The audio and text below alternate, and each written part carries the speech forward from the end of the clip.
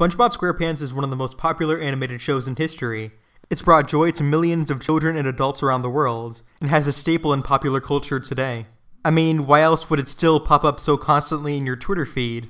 It's not only among the most popular cartoons in history, but it's also one of the most profitable.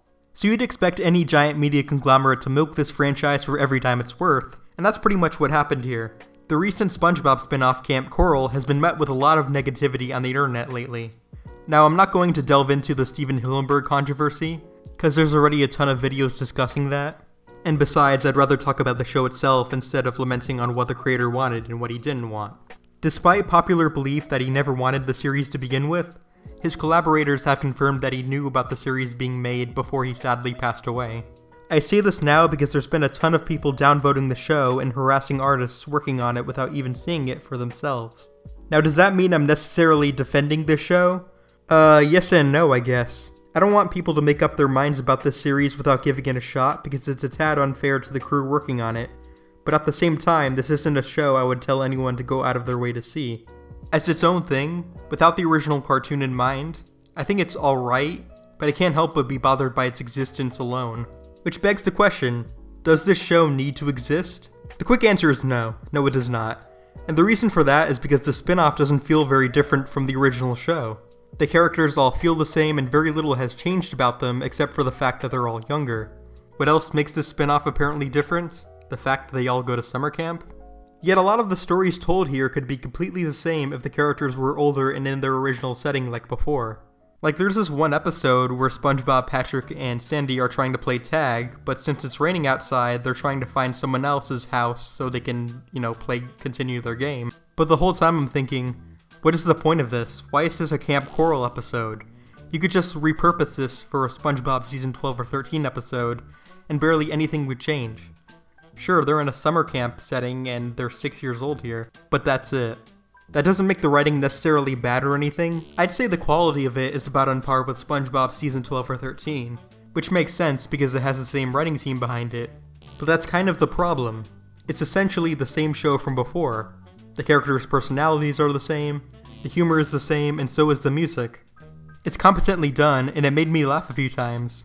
Uh, hey, Mr. Tentacles, do you have a ranger badge? Well, I tried for it once.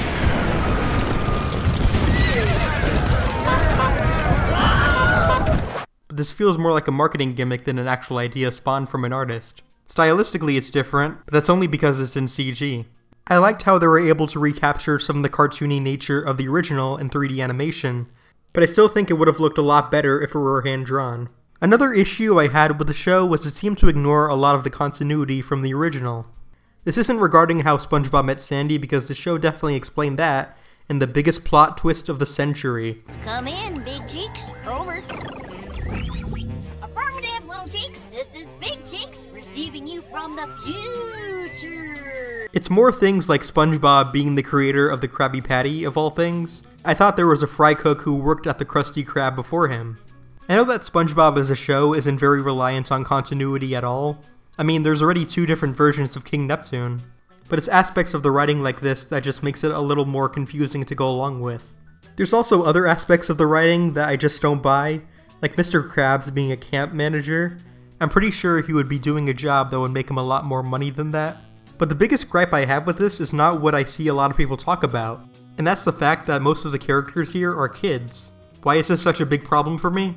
Because it takes away from the character of SpongeBob. What made him initially stand out from the rest of Bikini Bottom was his childlike and adolescent behavior.